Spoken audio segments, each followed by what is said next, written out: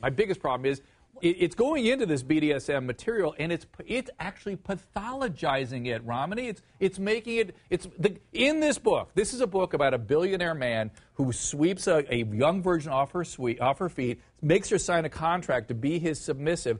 And we find out in the course of the book that he was sexually abused at the age of 15 and this is all him acting out his pathology, as opposed to it being two consensual adults, which which is fine. BDSM plays great. It is. It is well, two consensual adults. did I say that? You know, I, what did the I just thing. say? You know what? I what like, did I just I say like here? the contract, Drew. I like the contract. 'cause do. You know what? They're making. They're putting into hard copy what's implicit anytime you walk into a bedroom with someone. In fact, I'd love to give people an informed consent on my first date with them. This is what I want you to do, and this is what I don't Hold want on, you to my do. wife just said absolutely. kind of a shiver went down my spine.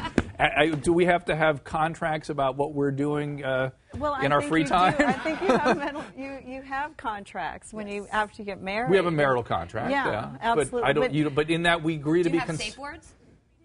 Well, you know, I. That this, may be too much This isn't information. exciting to you, Drew. I mean, I understand. It, it is. Ex- you don't understand. I, I don't understand. It's exciting to me. Here's what you, you said something to me when I asked at breakfast this morning. I said, well, "What do you think of this book?" She goes, "Oh, this guy was a great lover in this book." And and I said, "Well, what? Why? Why is this guy a great lover in this book?" Well, it's he. He's teaching her. She's a she's a virgin, and she, he's very Romney's attractive. and, enthusiastically and, agreeing with you. And he's and he's very responsive to her needs. It's not just him tying her up. And I don't see beating him her. doing anything except telling her what he's going to do before he does it. That's the only thing unusual I see this guy doing in this Well, book. right away, the second that they meet, there is a chemistry with them. She's as intrigued by him as he is by her. So when she's reading the contract and she's going line by line, she's actually kind of titillated or turned on by it and curious about it. And so when you get to the part, she actually removes some of the things that don't make sense to her. But the safe words, which is where you basically say, green for keep going, yellow for I'm getting uncomfortable, and red for stop.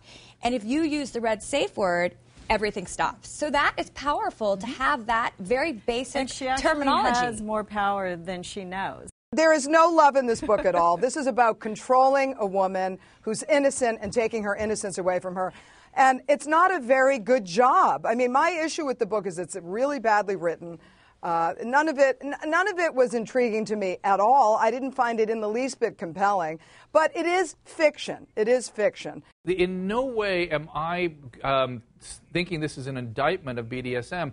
This is an indictment of somebody who claims to be writing fiction, but is re- really writing very accurately about a severely pathological couple. Severe.